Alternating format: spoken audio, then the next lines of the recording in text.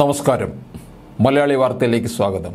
ഏറെ നാളത്തെ കാത്തിരിപ്പിനൊടുവിൽ ഇടതുപക്ഷം കൈപ്പിടിയിലാക്കിയ ആലപ്പുഴ ഇക്കുറി ആർക്കൊപ്പം നിൽക്കുമെന്ന ചർച്ച അങ്ങനെ പുരോഗമിച്ചു കൊണ്ടിരിക്കുകയാണ് ആരെയൊക്കെ ആവും അവിടെ സ്ഥാനാർത്ഥികളാകുക എന്നുള്ള ഊഹാപോഹങ്ങളും ഒക്കെ അങ്ങനെ കളത്തിൽ നിറഞ്ഞു നിൽക്കുന്നുണ്ട്. കഴിഞ്ഞ തവണ യു ഡി എഫിലെ ഷാനിമോൾ ഉസ്മാനെ പരാജയപ്പെടുത്തി ചുവപ്പ് കോട്ടയെ ഇടത്തേക്ക് തന്നെ ചേർത്ത് നിർത്തിയ എ എം ആരിഫ് വീണ്ടും സ്ഥാനാർത്ഥിയാവുമോ? അതോ ദേശീയ കോൺഗ്രസ് രാഷ്ട്രീയത്തിൽ രാഹുൽ ഗാന്ധിയുടെ വലങ്കൈയായി മാറിയ കെ സി വേണുഗോപാൽ ഒരുപക്ഷെ മൂന്നാം അംഗത്തിന് രംഗത്തിറങ്ങുമോ എന്നതൊക്കെയാണ് ഇപ്പോൾ ചർച്ചകളിൽ പ്രധാനം. കഴിഞ്ഞ തവണ ഒന്ന് പോയിന്റ് എട്ട് ഏഴ് ലക്ഷം വോട്ടുകൾ നേടിയ ബി ജെ പി ഇക്കുറി ആരെയാവും പരീക്ഷണത്തിന് ഇറക്കുക എന്നതും കണ്ടറിയാൻ കാത്തു നിൽക്കുകയാണ് ആലപ്പുഴ. ഒരുപക്ഷേ ഈ വരാൻ പോകുന്ന ലോക്സഭാ തെരഞ്ഞെടുപ്പിൽ ഏറ്റവും ശ്രദ്ധേയമായി മാറാൻ പോകുന്ന ഒരു മണ്ഡലം കൂടിയാണ് ആലപ്പുഴ. കാരണം രണ്ടായിരത്തി പത്തൊൻപതിൽ സി പി എമ്മിന് കിട്ടിയത് ആലപ്പുഴ മാത്രമാണ്. അതും ഒന്ന് കഷ്ടിച്ചങ്ങ് കരകയറുക മാത്രമാണ് ചെയ്തത്.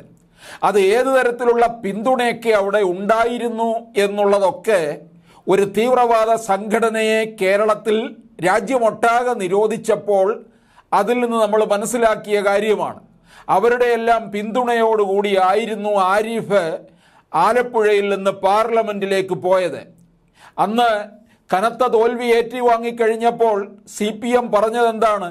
സി പി എം എന്തിനും ഒരു ന്യായീകരണം കണ്ടെത്തുമല്ലോ ഈ കനൽ അല്പം മതി ആളിക്കത്താൻ എന്നുള്ള രീതിയിൽ എന്നിട്ട് ആരിഫ് പാർലമെന്റിൽ പോയി എന്താണ് ആളി കത്തിച്ചത്?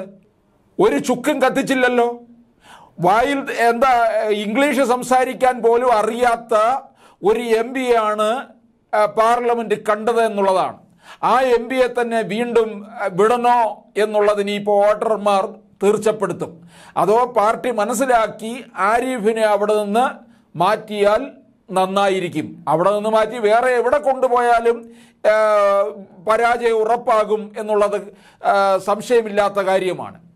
കഴിഞ്ഞ ലോക്സഭാ തെരഞ്ഞെടുപ്പിൽ വീശിയടിച്ച വിപരീത തരംഗത്തെ അതിജീവിച്ച് ഇടതുപക്ഷം സ്വന്തമാക്കിയ ഏക സീറ്റായിരുന്നു ആലപ്പുഴ. ഇത്തവണയും എ എം ആരിഫിന് തന്നെയാണ് മുൻതൂക്കമെന്ന് പറയുന്നുണ്ട്.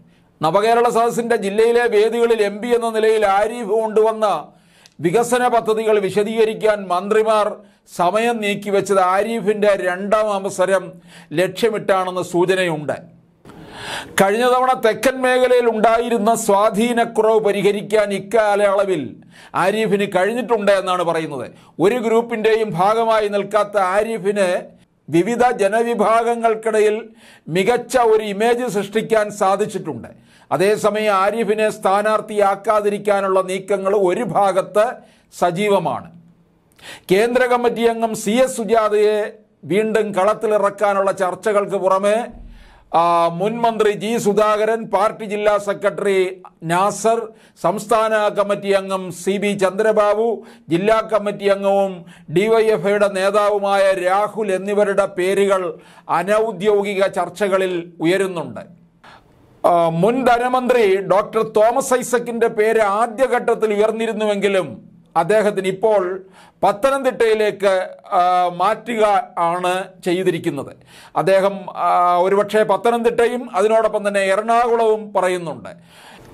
കോൺഗ്രസിൽ നിന്ന് ഒരുപക്ഷെ രണ്ട് തവണ ആലപ്പുഴക്കാർ വിജയിപ്പിച്ച നമ്മുടെ ഹൈക്കമാൻഡായിട്ട് നിൽക്കുന്ന ഒരാളുണ്ടല്ലോ കെ സി വേണുഗോപാലിന്റെ പേരാണ് കോൺഗ്രസിന്റെ സാധ്യതാ പട്ടികയിൽ പറഞ്ഞു കേൾക്കുന്നത്. കൈവിട്ടുപോയ സീറ്റ് തിരിച്ചു പിടിക്കുക എന്ന അഭിമാന പോരാട്ടമാണ് കോൺഗ്രസിന് മുന്നിൽ. ദേശീയ നേതൃത്വത്തിലെ പ്രധാന ചുമതല വിട്ട് കെ സി മത്സരിക്കാൻ ഇറങ്ങില്ലെന്ന അഭിപ്രായവും ഉയരുന്നുണ്ട്. അങ്ങനെ ഈ പാർലമെന്റിൽ മാത്രമായിട്ട് ഒതുക്കാനുള്ള തീർച്ചയിലല്ല നിൽക്കുന്നത്. മറിച്ച് രണ്ടായിരത്തി ഇരുപത്തിയാറിൽ ഒരു യു ഡി എഫ് തരംഗമുണ്ടായിക്കഴിഞ്ഞാൽ ഒരുപക്ഷെ കേന്ദ്രത്തിൽ നിന്ന് ഇങ്ങോട്ടേക്ക് കെട്ടിയിറക്കാനായിട്ട് അത് ആ വഴി ഇവിടെ മുഖ്യമന്ത്രി കുപ്പായം അണിയാമെന്നുള്ള രീതിയിൽ നിൽക്കുന്ന ആളാണ് കെ സി വേണുഗോപാൽ ഈഴവ ഭൂരിപക്ഷമുള്ള ആലപ്പുഴയിൽ കണ്ണൂർ സീറ്റിലെ സ്ഥാനാർത്ഥിയെ കൂടി പരിഗണിച്ചിട്ടാവും അന്തിമ തീരുമാനമെടുക്കുക. കണ്ണൂരിൽ സ്ഥാനാർത്ഥി മുസ്ലിമെങ്കിൽ ആലപ്പുഴയിൽ ഈഴവ സ്ഥാനാർത്ഥിക്ക് അവസരം നൽകിയാവും. സാമുദായിക സമവാക്യം പാലിക്കാൻ പോകുക.